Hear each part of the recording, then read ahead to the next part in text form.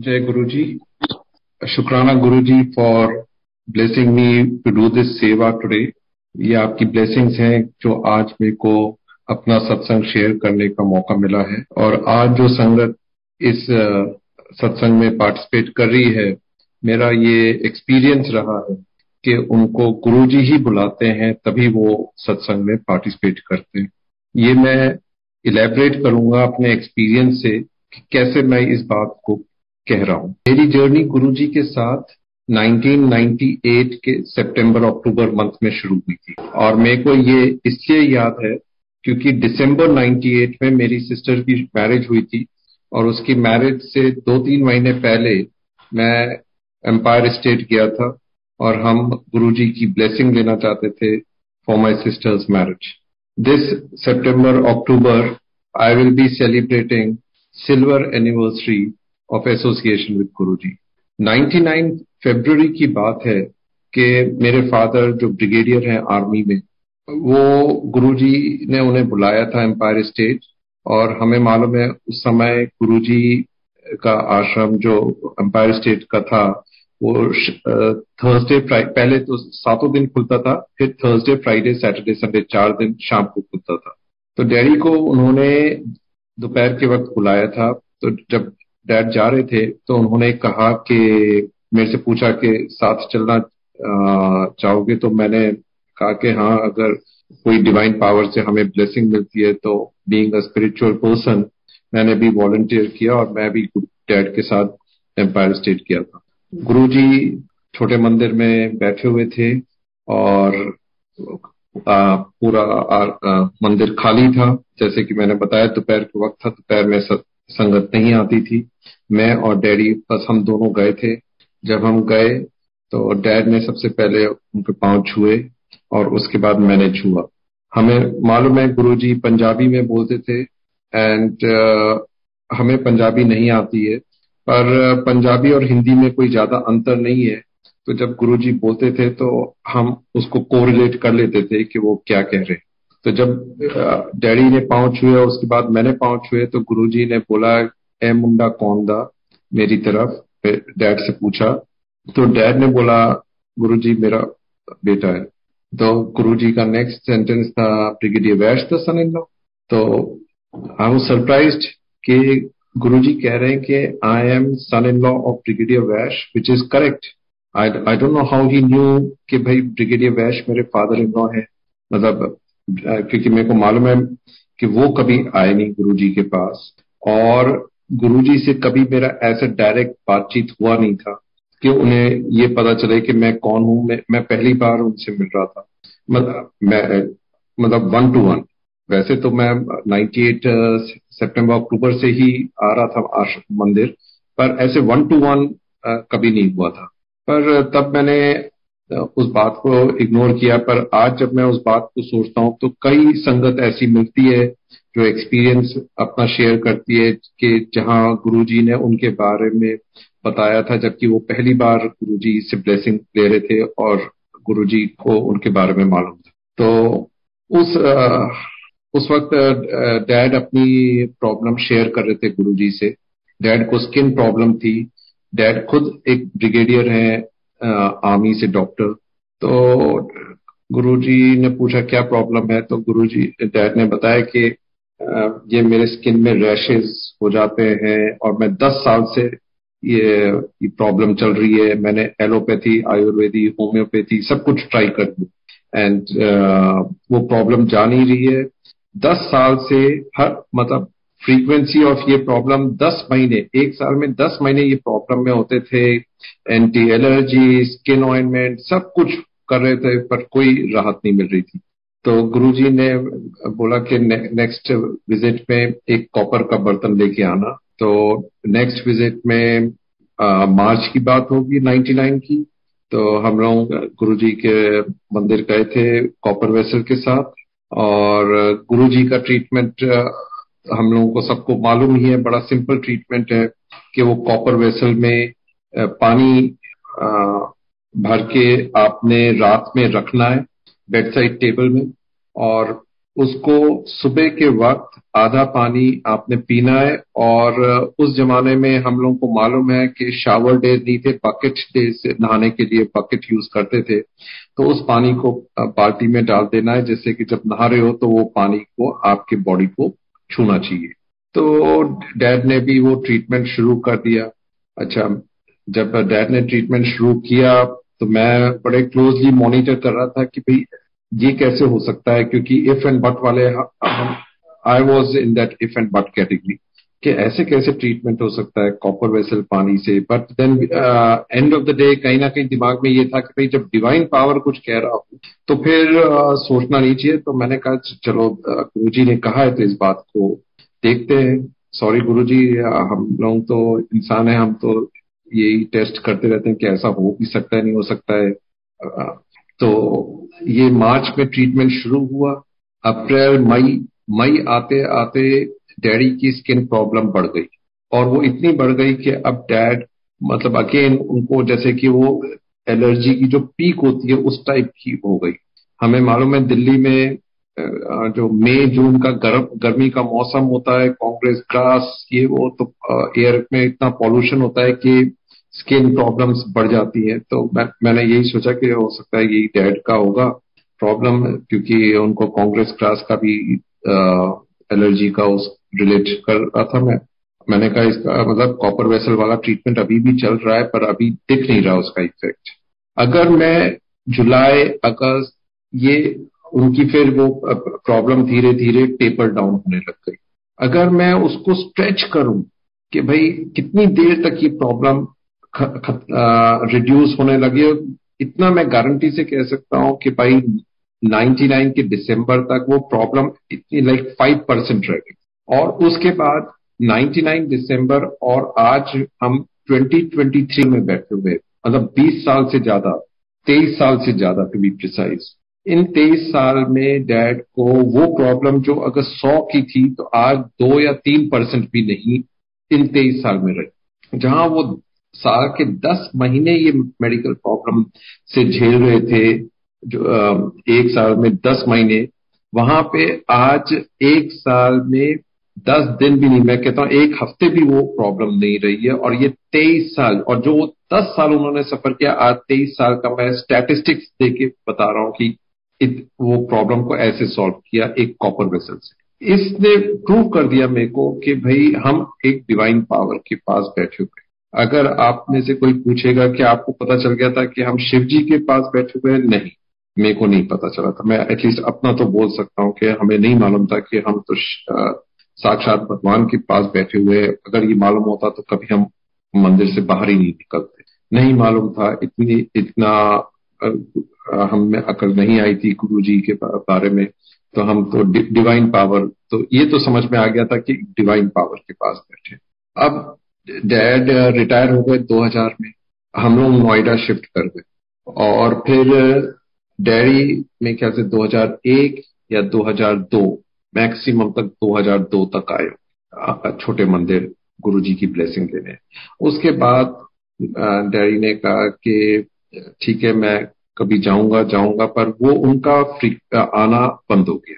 मतलब अगर मैं स्ट्रेच करूँ मैक्सिमम 2002 तक आए होंगे। 2002 के बाद वो नहीं गए जो मेरे को ध्यान है हो सकता है 2001 में ही बंद हो गया हो, पर मैं अगर उसको भी स्ट्रेच दो कि ज़्यादा से ज़्यादा कई 2002 में कभी चले गए हो तो अलग बात है। जैरी ने कहा कि गुरुजी उस समय वो छोटे से स्वरूप देते थे जो सबको एज ब्लेसिंग तो गुरुजी ने अकल दे रखी थी कि मैंने ऐसे स्वरूप के जो अपनी ब्लेसिंग में देते थे, मैंने इकट्ठा कर रखा था तो ऐसा एक खजाना है मेरे पास जो जब वो ऐसे देते थे, मैं उसको कलेक्ट करता था और आज भी वो कलेक्शन मेरे पास है उस खजाने की। तो ऐसा ही एक स्वरूप हमने घर के मंदिर में रखा हुआ था। तो डैडी ने कहा कि भाई, मैं गुरु जी का वो जो स्वरूप उन्होंने ब्लेसिंग में दिया है, मैं मंदिर में उसको प्रे करूँगा। और, वो है तो गुरु जी ने ही दिया है तो फिर वहीं से मैं ब्लेसिंग लूँगा। तो मैं कहा, ठीक है। मैं अपनी विज़िट गुरु जी के मंदिर एम्पायर स्टेट का कंटिन्यू किया।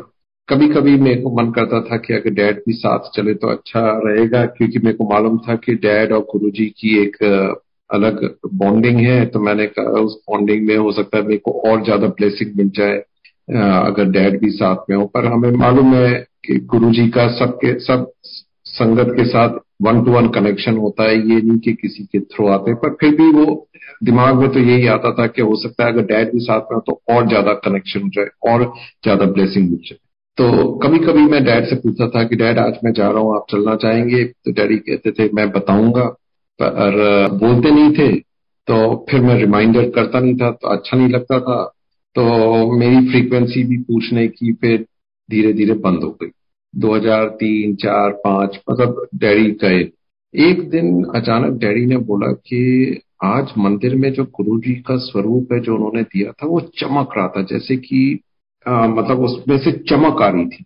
और उनकी आँख पे एक मतलब बड़ी हैप्पीनेस का फ्लेवर था जैसे कि वो चकाचौंध हो गई हो उनकी आँखें मतलब like as if his eyeballs were popping out तो he was so happy and so excited when he was telling बोले कि चलो आज गुरु जी के यहाँ चलते हैं।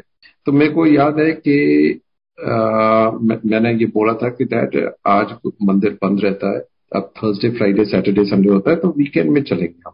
बोले, ठीक है।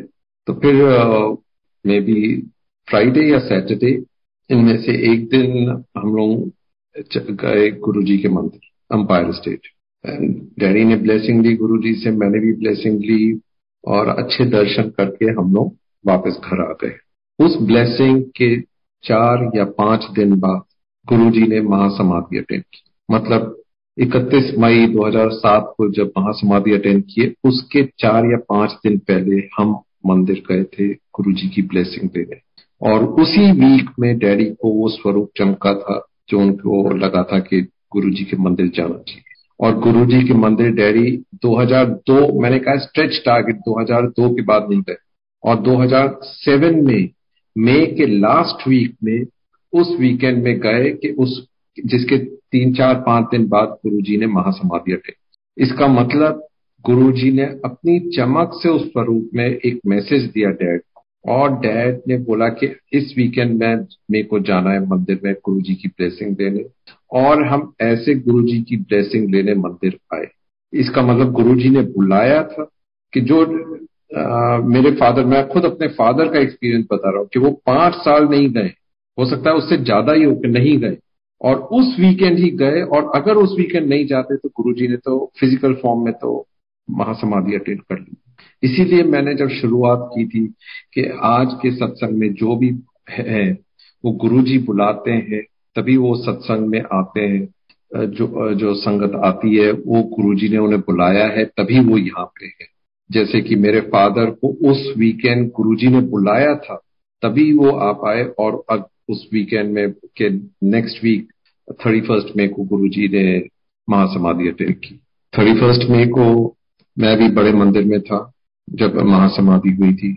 And we were all very confuse anxiety disheartened मतलब जो शब्द कहो कि हम लोग इतने उस सोच विचार में थे कि अब क्या होगा कि आगे चल के अब कैसे चलेगा, मंदिर was under construction it was not fully constructed पर अब कंस्ट्रक्ट हो भी गया तो भी मतलब कि अब तो गुरु जी तो है नहीं। कैसे आगे चलेगा? सब लोग को ये कंफ्यूजन सब लोग आज 16 साल में कुछ नहीं बदला। ये कह सकते हैं गुरु जी फ़िज़िकल फॉर्म में नहीं है, पर क्या हमारी ब्लेसिंग्स इम्पैक्ट हुई है? नहीं। एटलीस्ट मैं अपना कह सकता हूँ कि जो ब्लेसिंग्स पहले मेरे को मिल रही थी, वो महासमाधि के बाद भी उसमें वन परसेंट भी डिफरेंस नहीं रहा है। ब्लेसिंग्स चलती गई, बढ़ती गई। ये गुरु जी की महिमा है कि हम लोग जुड़ गए, हमको वो बुलाते हैं और हम इतनी कठिनाई भरी लाइफ में भी उनकी ब्लेसिंग से एक सेन एंड सैनिटाइज ज़िंदगी जी रहे मेरे को एक कंफ्यूजन रहता था कभी कभी मतलब वंस इन वाइल आता था। कि जो मेरे फादर का मेडिकल ट्रीटमेंट किया था गुरुजी ने, स्किन प्रॉब्लम का तो वो एक होम्योपैथी डॉक्टर भी उस जमाने में थे जो डैडी को ट्रीट कर रहे थे।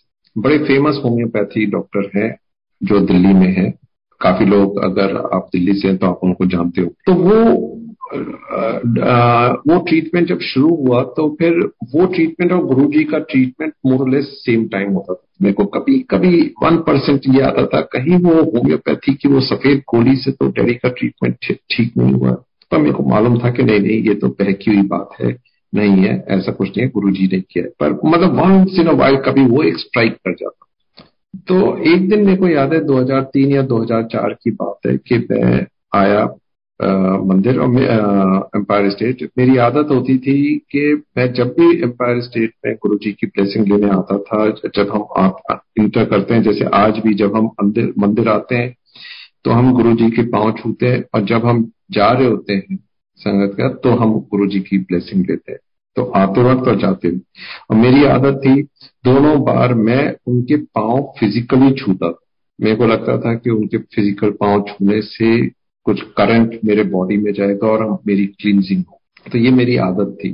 तो जब 2003-4 में मैं जब आया एम्पायर स्टेट तो गुरुजी जो एक लॉफ्ट हो, होता था एम्पायर स्टेट में जो कि किचन और उनके बेडरूम के बीच में तो वो उस पर बैठे हुए थे अपनी गद्दी पे नहीं बैठ के वहाँ पे बैठे हुए थे। और संगत वहाँ पे उनको उस तरफ़ बैठ के गुरु के सामने ब्लेसिंग ले रही थी। तो मैं भी आया मैंने उनके पाँव छुए। तो जैसे मैंने बताया मेरी आदत थी उनके पाँव फिजिकली छूने की तो मैंने उनके पाँव छुए। वो किसी संगत से बात कर रहे थे। तो जब मैंने उनके पाँव छुए तो ऑब्वियसली वो डिस्टर्ब हो गए क्योंकि वो किसी से बात कर रहे थे और कोई छू दे तो obviously the person gets disturb उन्होंने देखा नहीं था कि क्योंकि मैं साइड से आया था और मैंने साइड से उनके पाँव छुए थे जबकि वो दूसरी तरफ़ देख के संगत से बात कर रहे थे। तो वो डिस्टर्ब uh, हो गए। उन्होंने मेरी ओर देखा और फिर आ, आ, संगत में उन्होंने फिर रुक के बोला कि भाई ए मुंडा कंफ्यूज था। तो मैं थोड़ा सा हक्का बक्का रह गया कि गुरु जी ने कहा this this boy is a confuse person तो मैंने कहा पता नहीं मैंने क्या कर दिया जो गुरु जी ने ऐसे कहा है। तो खैर मैंने अपना सिर झुकाया चुपचाप घूम के गया संगत के बीच में बैठ गया। और मेरी आदत थी आँख बंद करके मनन करने की तो मैंने मनन शुरू कर दिया। यही सोच के कि पता नहीं कुछ कुछ तो हुआ है जो गुरु जी ऐसा बोल रहे हैं। थोड़ी देर बाद दस पंद्रह मिनट बाद मैंने हिम्मत करके आँखें खोली गुरु जी की तरफ़ देखा, उनकी ब्लेसिंग वेसिंग की और साइड में देखा। तो साइड में देखा जो होम्योपैथी डॉक्टर जिसको मैं सोचता था शायद उसने कभी ट्रीट किया हो डैड को, वो मेरे बगल में बैठे।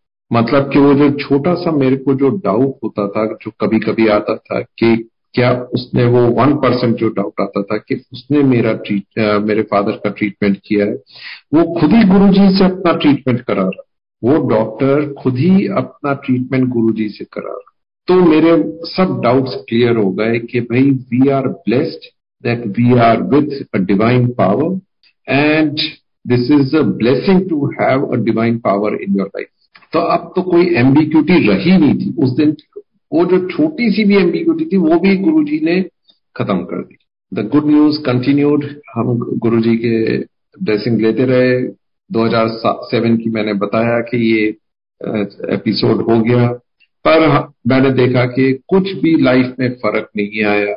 बड़ा मंदिर स्टार्टेड ग्रोइंग संगत स्टार्टेड ग्रोइंग विथ टाइम और जो हमारी छोटी मोटी विश लिस्ट होती थी, जो हम इंसान है, हम लोगों की एक विश लिस्ट होती है, और मेरी भी एक विश लिस्ट होती थी। मैंने देखा मेरी सब विशेष एक एक करके गुरु जी सब पूरी कर रहे और एक दिन की बात है, ऐसा हुआ कि मैं बाहर गया हुआ था, दुबई में था तो दुबई से मैं दिल्ली आया, घर आया तो मैंने पूछा ड्राइवर से कि साहब कहाँ है तो उसने बोला कि साहब आर आर हॉस्पिटल गए उनका वो डॉक्टर के पास। मैंने कहा, ठीक है। दोपहर में मेरे फादर आए तो मैंने पूछा, क्या हो गया? आप हॉस्पिटल गए हुए थे? तो उन्होंने बोला, मैं डेंटल ट्रीटमेंट के लिए गया था, प्लस, मेरी आईसाइट में थोड़ा सा प्रॉब्लम था तो मैं आई स्पेशलिस्ट के पास भी गया था। आजकल जब मैं पेशेंट्स का प्रेस्क्रिप्शन लिखता हूँ तो मेरे को थोड़ा सा लिखने में, दिखाई देने में प्रॉब्लम हो रही है। मैंने कहा अच्छा। उस दिन शाम को फिर डैड ने कहा, मेरी विजिबिलिटी बहुत कम हो गई है मेरे को और बड़ा पेन कर रहा आईज। तो उन्होंने वो आरआर में जो ब्रिगेडियर साहब थे ऑप्थेलमोलॉजिस्ट को फ़ोन किया कि, मेरी आई साइट में वो पेन बढ़ गया है and my visibility has gone down तो डॉक्टर ने कहा कि सर ऐसा है कि सैटरडे संडे तो बंद है। मंडे को फ़र्स्ट आपका ही मैं ट्रीटमेंट करूँगा। मंडे फ़र्स्ट थिंग आप मेरे पास आ जाओ तो डैड ने कहा, ठीक है। पर obviously dad was upset and he wanted immediate relief because visibility is something कि अगर विजिबिलिटी इम्पैक्ट हो जाए तो more less you become really handicap पाँव दर्द है, हाथ दर्द है, पेट दर्द है you can still tolerate this thing पर आई साइट अगर आपकी इम्पैक्ट हो रही है तो that has a big impact on your you know activities of the day तो हम डैडी ने कहा कि भाई मेरे को कुछ तो करो। तो फिर मैं मेरे ब्रदर सिस्टर हम सबने अपने इधर उधर कनेक्शन ढूँढने शुरू किए कि कोई डॉक्टर मिल जाए। Then finally we got one doctor very famous eye hospital chain in NCR आप लोग सब उस uh, को जानते होंगे but again I don't want to name it because of previously reasons तो उस हॉस्पिटल आई क्लिनिक चेन में एक डॉक्टर हमारे जान पहचान के निकले तो I spoke to her and she said uncle को इमीडिएटली कल ले आओ. तो सैटरडे को डैड को उसके पास ले गए। She did some treatment and she said come on Monday we have to अभी इन्फ्लेमेशन है। कल मंडे को जब आएँगे तो फिर तब तक सबसाइड हो जाएगी then we'll do some scanning and then we'll find the problem तो मंडे को स्कैनिंग करके प्रॉब्लम फाइंड किया तो बोला कि आई में कुछ गैप हो गया है and that gap is you know causing the problem उसमें हमें एक प्रोसीजर करना पड़ेगा जिससे कि वो गैप खत्म हो जाए। तो बोले, ठीक है अच्छा तो फिर ये प्रोसीजर करेंगे। तो dad became very nervous at he he on the wrong side of the age he he we are talking talking of around uh, 2019 के आसपास की बात तो he was already now touching 80 तो बोले कि अब इस उम्र में कोई प्रोसीजर किया और कुछ हो गया तो फिर प्रॉब्लम uh, होगी। तो मैंने कहा डैड वो देखो सामने आपके सिरहाने के सामने गुरु जी का स्वरूप है। तो वो गुरु जी का वो स्वरूप था जो गुरु जी ने अपने हाथ से मेरे को दिया था एज ब्लेसिंग तो इस टाइप के खजाना मैंने बताया कि uh, हम लोग सब मैंने तो एटलीस्ट मैं तो काफ़ी इकट्ठे करते रहता था तो खजाने का कलेक्शन है। तो वो स्वरूप उन्होंने दिया हुआ था तो मैंने कहा, डैड, वो गुरु जी तो आपके सामने जब आपकी उन्होंने पूरी लाइफ में ही इतनी सारी ट्रीटमेंट्स कर रखी है, आप वहाँ करो, मंत्र जाप करो, वो आपको किस बात की चिंता है?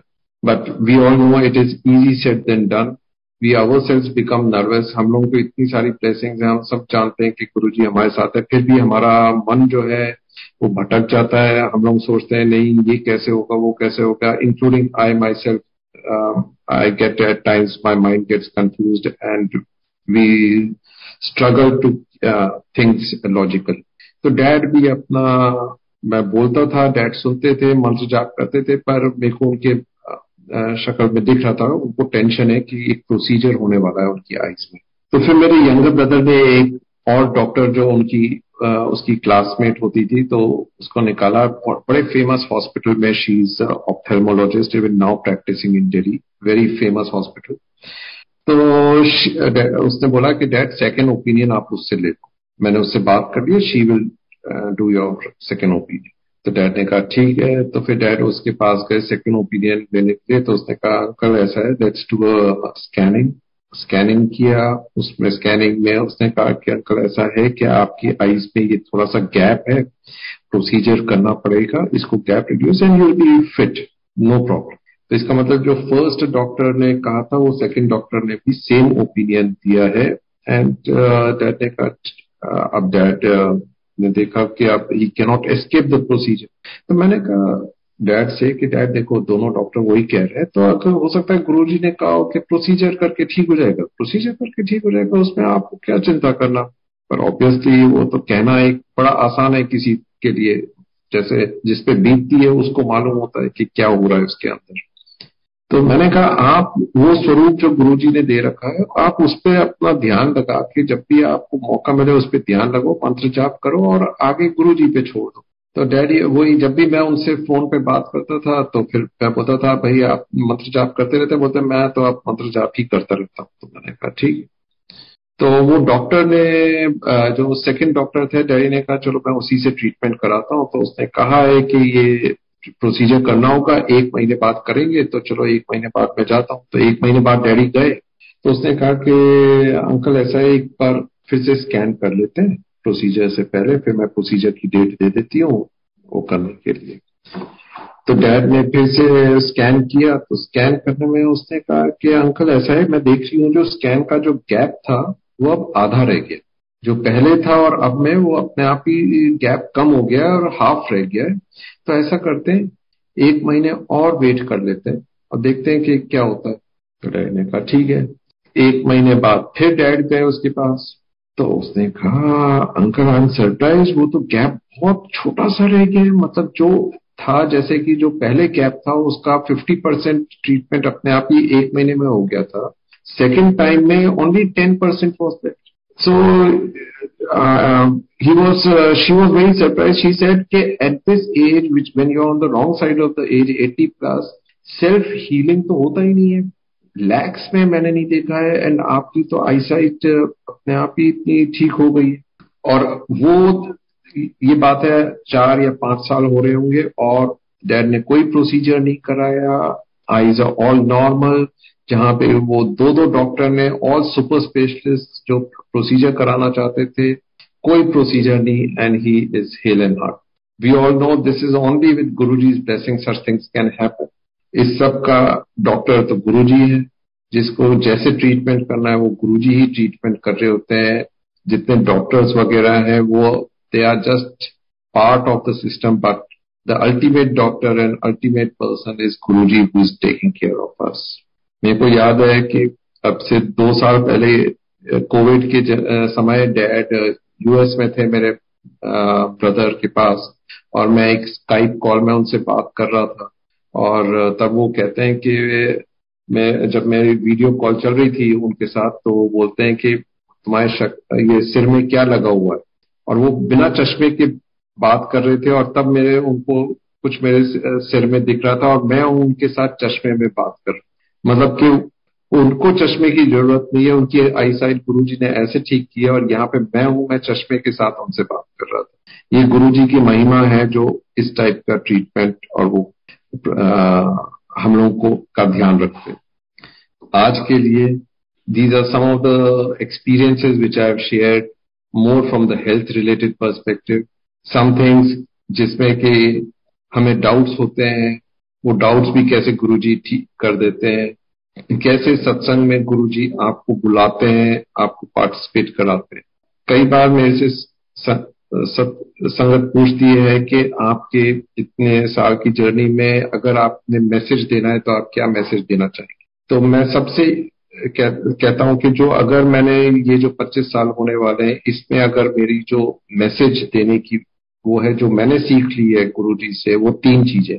These three things I would like to share with all of you कि ये तीन चीज़ें जो मैं आप लोगों के साथ छोड़ के जाना चाहता हूँ। पहली बात देर इज़ डिवाइन पावर हम सब कहते हैं कि भगवान है भगवान है but it is not easy when I am saying there is divine power it's a very heavy statement ये बहुत बड़ी बात मैं कह रहा हूँ कि डिवाइन पावर है। क्योंकि अगर हम इस बात को समझ लें और अपने अंदर डाल लें तो लाइफ एक और बहुत अच्छी भी हो जाती है और एक और बहुत टफ भी हो जाती है। क्योंकि हमें फिर ये सब जान के रखना है कि हर मिनट हर घंटे, हर दिन भगवान हमारे आसपास है। और अगर आसपास है तो हमें वो कॉन्शियस लाइफ लीड कर जो कि बहुत टफ है। हम हम भूल जाते हैं, हम जब मंदिर जाते हैं या या सत्संग में होते तब याद आता है कि अरे भगवान है। फिर हम अपने काम में इतने उलझ जाते हैं कि हम भूल जाते हैं कि भगवान है। पर कहीं ना कहीं हमें अपने आप को हर समय याद रख, दिलाना पड़ना चाहिए कि भगवान है। और मैं ये इसलिए कह रहा हूँ, क्योंकि जो सेकंड सेंटेंस है, जो सेकंड टेक अवे है, वो इससे रिलेटेड है। सेकेंड थिंग इज़ कर्मा अगर कर्मा अच्छे हैं तो फिर ठीक है। पर अगर आपने कोई गलत कर्मा किया तो भगवान है और गलत कर्मा है, आप सोच लीजिए फिर क्या होगा। और वो थर्ड मैसेज ये है कि आपकी life is a result of divine power plus karma the third one is the output divine power plus good karma good life divine power with bad karma bad life It is a simple logic, simple three messages which I am giving all of you.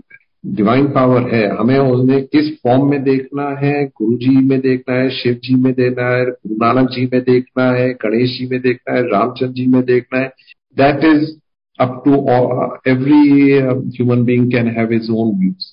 But there is divine power.